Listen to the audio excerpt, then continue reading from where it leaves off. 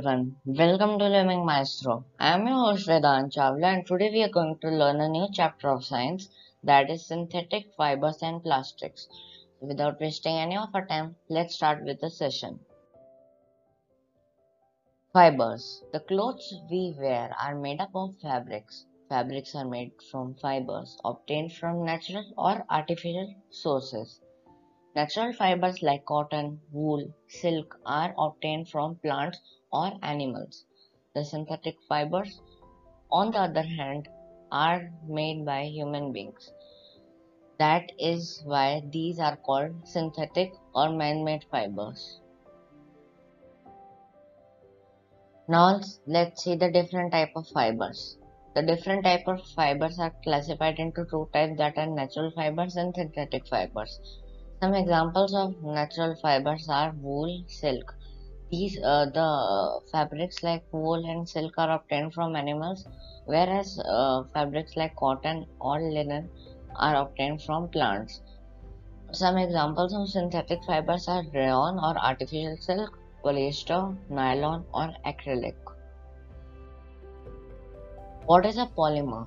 A synthetic fiber is a chain of small units joined together. Each small unit is actually a chemical substance. Many such small units combine to form a large unit called a polymer. The word polymer comes from two Greek words that is poly that means many and mer that means a unit. So a polymer is made up of many repeating units. Example, cotton is a natural polymer.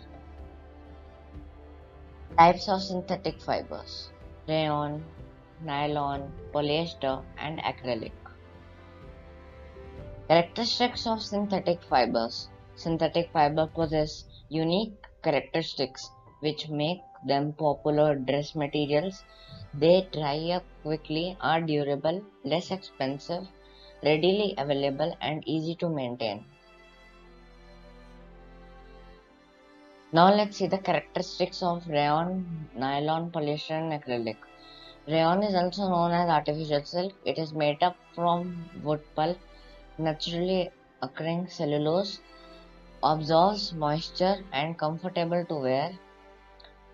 First synthetic made in, entirely from chemicals. Nylon is made up of coal, petroleum, oil, air and water. It is very strong, elastic, wrinkle resist, absorbs very little uh, water and it uh, is it is easy to wash. Now let's see the characteristics of polyester made from monomer called ester, manufactured from petroleum, extremely strong, chemical resistant, wrinkle resistant, very durable, does not absorb water easily and quick to dry. Acrylic, on the other hand, is very lightweight, soft, and warm like a wool.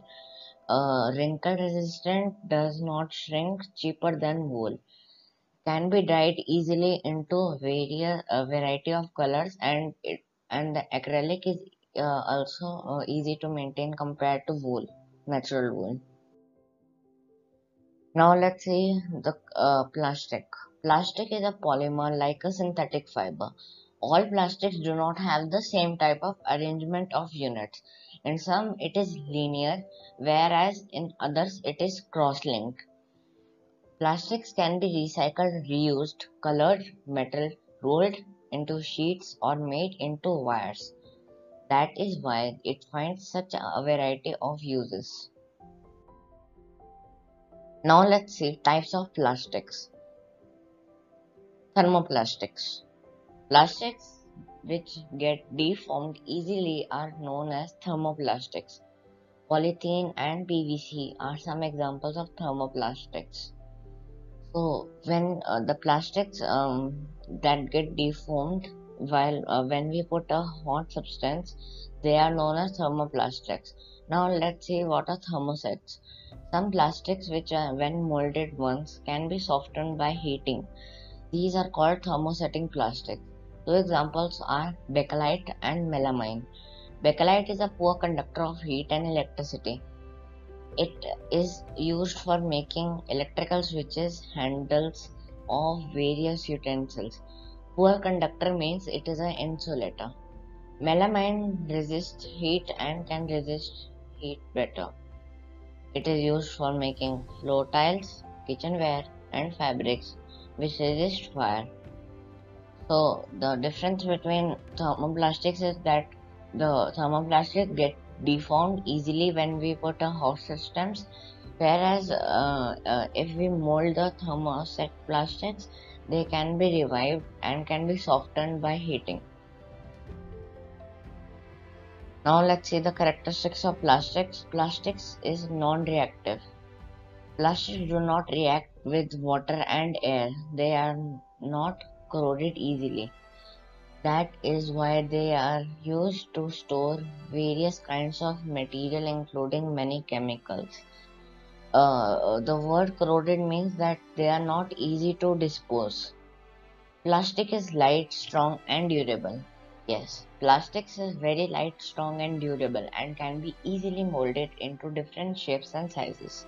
It is used for various purposes. Plastics are generally cheaper than metals. Plastics are poor conductors. Plastics are poor conductors of heat and electricity. This is why electric wires have plastic covering and can handle of uh, and handles of screwdrivers are made of plastics. Plastics and the environment. Now what is biodegradable and non-biodegradable? Let's learn.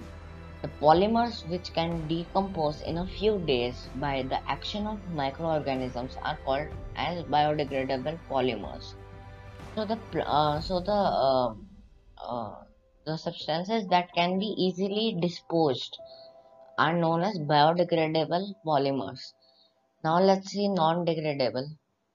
The polymers which are decomposed by the action of microorganisms and uh, and are referred as non-biodegradable polymers. So there are some substances that cannot be easily disposed and take uh, thousands of years.